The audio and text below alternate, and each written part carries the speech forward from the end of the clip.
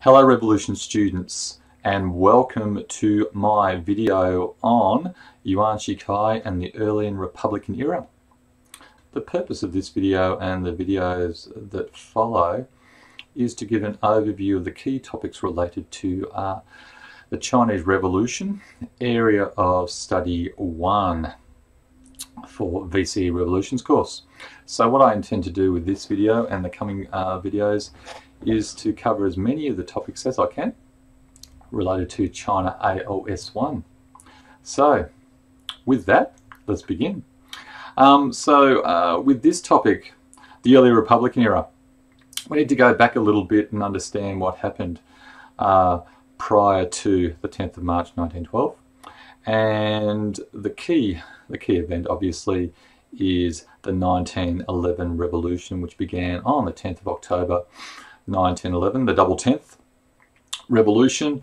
Um, and it started with uh, an accidental explosion of a bomb being prepared by um, new army officers in, uh, in Wuhan. Uh, and then it spread from there. It spread to various provinces in uh, the south of China. And uh, by 1912, pretty much most of the southern half of China had gone over to the revolutionaries. Uh, Sun Yat-sen, the preeminent revolutionary in China at the time, actually was overseas when the revolution began, and then he came back and he was made uh, appointed provisional president of uh, the Republic on the 29th of December 1911. A little later, in early Feb, um, Puyi, Emperor Puyi, the last emperor of the Qing dynasty, he abdicates on the 12th of February 1912, and then um, Sun Yat-sen decides to uh, make a, a, compromise with uh, this powerful man here, Yuan Shikai, who was the former commander or the commander-in-chief of the Qing army. And what he did was he made an agreement with Sun Yat-sen. He said, all right, we will surrender to you, um, and I'll surrender the Qing army to you, to the Republicans, so long as you make an agreement with me and make me president. And Sun Yat-sen uh, did make that agreement. And there are a couple of reasons for this. Uh, he obviously wanted, all along Sun Yat-sen wanted a strong and stable uh, government or republic when it was established. And he believed that uh, Yuan Shikai was uh, a strong leader because he had the backing of the Qing army. So Sun thought, all right, we'll make an agreement with uh, Yuan Shikai, and it also tallied with his ideas in uh, what he'd written previously in the three principles, the San Min Zhu Yi, and particularly that second principle uh, in democracy, a democratic principle where there were stages of um, establishing a republic, and he mapped that out. And he said uh, one of the early stages was to have a military dictatorship, a strong military dictatorship which could keep China together, because he feared that uh, when the Qing dynasty, when it, once it was overthrown, China might break into lots of little warring states, as it happened in the past in China's history. So he wanted to avoid that at all costs. So this is probably one of the key reasons why he decided to agree with Yuan Shikai's offer and to make him the president. The other key aspect of uh, this agreement between Sun Yat-sen and Yuan Shikai was that uh, Yuan Shikai wanted the government to be located in Beijing rather than where Sun Yat-sen initially wanted the government to be located, which was Nanjing, sort of in central central uh, China, not far from Shanghai on the Yangtze River. For those of you who don't know, Beijing, Bei, and I apologize for my Mandarin here, my, my poor use of tones. Beijing, Bei means north, Jing or Jing means capital. And if you can, you, once you understand that, then you can sort of figure out what Nanjing means. So if Beijing means northern capital, then Nanjing means uh, southern. Nan is south or southern, southern capital, Nanjing. So we have Beijing in the north, Nanjing in the south. And throughout Chinese history, um, Chinese dynasties uh, were either pretty much located, the more modern ones anyway, were located either in Beijing, that was their capital, or in Nanjing. Sun Yat-sen wanted the capital to be in Nanjing. Uh, Yuan Shikai wanted the capital to be in Beijing, and Yuan Shikai wanted the capital to be in Beijing because that was where his power base was. That's where he had all his power. He feared that he he feared that if the government was located in Nanjing, then he wouldn't be as powerful as he could be. Um, so Sun Yat-sen agreed. So he agreed to make Yuan Shikai the president, and he also agreed to move the capital up to Beijing. So uh, Yuan Shikai was uh, became president on the 10th of March 1912, and we when we look at his uh, period of rule, so he, he, ruled for over four years, okay, and one of the big uh, significant parts of his rule was that he did keep China together. He was that strong leader which Sun Yat-sen uh, was looking for. Um, and, he, and he, you know, that's a big tick for you, Yuan Shikai. He did keep China together. He stopped it from breaking up into a lot of small different parts, and he did, uh, he sort of achieved a, quite a few things. So if we look at that second point there on my um, slide here.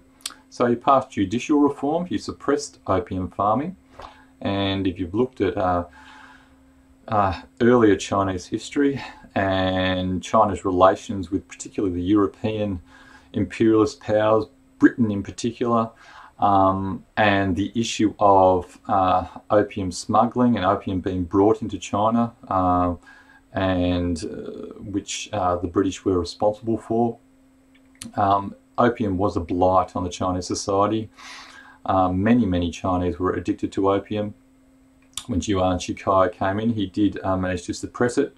We'll see um, that uh, once when we get further along into you know, later decades, the Kuomintang also suppressed it, but the uh, the CCP are very much against opium, opium farming too. So he suppressed opium farming, and he also improved primary education. So that's some key achievements for his early reign. Uh, once uh, Sun Yat-sen, once Sun Yat-sen uh, permitted Yuan Shikai to become president, and the government was established up in Beijing. Sun Yat-sen actually reformed or uh, uh, changed, reorganized uh, his revolutionary movement, which was called the Tong Meng Hui, and he uh, reorganized it into a political party, and he called that political party the Kuomintang, so the nationalists. Um, and the abbreviation there, you can see the GMD so the Kuomintang, and he was the head of that. And there were elections early on, and the Kuomintang um, did very well uh, in the elections. They became the most popular party, had the most deputies in the government. However, Yuan Shikai was still the president. So Yuan Shikai, once he was in power, he now realised he had this, uh, had to sort of uh, share his authority with the Kuomintang, which he wasn't uh, too happy about. And there were various um, conflicts between the Kuomintang and uh, political conflicts and Yuan Shikai, and eventually he banned them outright on the 4th of November 1913. Okay, uh, Sun Yat-sen uh, fled China and went to various places. He, he was in Japan for a while and so forth. Um, so, and at this point, it's, it's important to understand. So the Kuomintang uh, was just a political party. It had no army associated with it. Yuan Shikai had the army, so he was able to impose his rule in China. The Kuomintang, led by Sun Yat-sen, did not have an army. So um, they, were, they were a weaker organization. What this did, once Yuan Shikai banned the Kuomintang, was an important um, important, I suppose, stage in the development of the Kuomintang. Um, Sun realised that if he was going to get into power and create a, a proper republic, um, he needed to have uh, the Kuomintang, he needed to tighten party discipline, you can see that third point. point, and also he decided to create a revolutionary army of his own in order to contend against and try to um, try to overthrow uh, Yuan Shikai the other key point. So once uh, Yuan Shikai had banned the Kuomintang, he then did uh, went a few steps further and he banned national and provincial parliaments in February 1914. And this was a, uh, a very significant step because it undermined democracy. You can see there that bolded point. It undermined parliamentary uh, the parliamentary democracy, leaving no viable political authority upon Yuan's death, and it led to a political vacuum in the warlord period. So he Yuan Shikai he he got rid of the Kuomintang, he banned them, and then he got rid of uh, these national and provincial parliaments. So he was a dictator in all intents, intents uh, in all, you know, pretty much he was a dictator. And um, as a consequence, there was no viable authority when he passed away, when he died. There was no one to, um, you know, to fill his position. No one with his, uh, I suppose, authority anyway. Another key point that happened during this early Republican era. So, um, uh, Japan's Japan's relationship with China, which had uh, Japan had been growing uh, uh, stronger militarily, economically, ever since they'd gone undertaken the Meiji reforms in the 1860s, and uh, they wanted to have the Japanese wanted to have an empire like Western imperial powers, like the, the the British and the French and so forth. And in order to create their empire, the Japanese realized they needed to uh, expand and they needed to expand and take over land. And the land that was close to them was China's land, particularly Manchuria and so forth. So the Japanese decided on the uh, 7th of May 1915, or not, or earlier, but they uh, they gave these 21 demands to Yuan Shikai, and these demands, there are, number of various demands. If Yuan Shikai had accepted all of them, uh, China would pretty much have become a puppet state of Japan. And you might ask, well, why didn't Yuan Shikai just say, well, you know, yeah, you can, I, I, I don't want your 21 demands, take them back with you. Well, what the Japanese were going to give him in return was um, loans, money to run his government. So he made a compromise and he accepted some of the demands, not all of them. Okay, and you can see uh, what uh, what sort of demands he did accept. So he accepted a modified version of the 21 demands, giving Japan economic rights in Manchuria and Inner Mongolia, control of the Liaodong Peninsula. So Liaodong Peninsula is that sort of that bit of land which is across the water from Korea um, I think it's in Shandong province, which we're going to look at in more detail later on. And the consequence of him accepting, Yuan Shikai accepting the 21 demands, was it weakened his popular support. Okay? Chinese people started turning away from him. The, the whole purpose of the Republic, the aim of the Republic, Sun Yat-sen, uh, and the three principles, what the Chinese people had wanted for so long was they wanted to get rid of the Qing dynasty, which uh, was a the, run by the Manchu, and which Han Chinese saw as a foreign um, a foreign dynasty, and they also wanted to get rid of and remove all foreign control from the European powers. So you would have studied this. So places like Hong Kong, Shanghai itself was broken up into different areas controlled by the British and the French uh, the Americans and so forth. There were various treaty ports up and down the, the Chinese coast controlled by Europeans and or, or the US. And what these treaty ports allowed these Europeans to do was pretty much, um, you know, trade freely with China. They could tax in them. Even things like uh, the British had British citizens uh, had the right to be um, judged if they committed any crimes by British law in China rather than Chinese law. So uh, the Chinese, the Han Chinese, this grated against them, this foreign control of their country, so they wanted to get rid of it. They had hoped when Yuan Shikai came in, and with the Republic, that uh, this would occur. But with the uh, his acceptance of the 21 demands, it was going back to the old thing again. The Japanese were now coming in and taking over, you know, increasing their control of China and the Chinese people did not like it. So that weakened his popular support, and you can see that at the point there. It also increased Japanese control of China.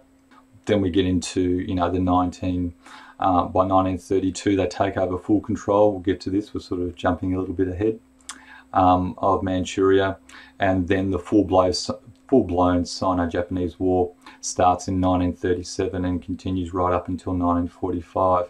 But this this uh, this 21 demands is, I suppose, the first step of the Japanese, um, you know, increasing their influence in China.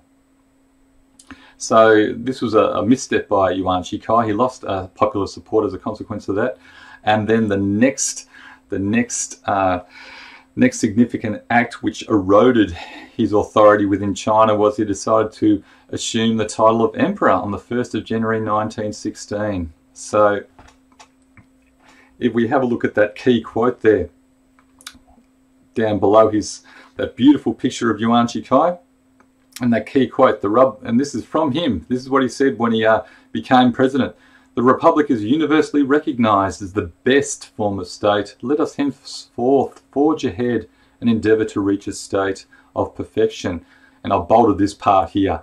Never shall we allow the monarchical, monarchical system to reappear in China again. So, the bolded here, never shall we allow the monarchical system to reappear in China again. That's what we call a lie, okay? So you, you, did, did Yuan Shikai always intend to become emperor? Hmm, possibly, possibly. Um, I, I, think he did. And he decided to do so on the 1st of January 1916. Supposedly there was these letters written by people from all over China saying, please, please Yuan Shikai, assume, assume the position of emperor. Um, so anyway, whatever whatever the credence there was, whether these uh, whether these uh, letters were true or not, as soon as he became emperor, uh, most Chinese were very unhappy about this, and his own generals and many provincial governors were unhappy about this as well. And they forced him to renounce the throne on the 22nd of March 1916.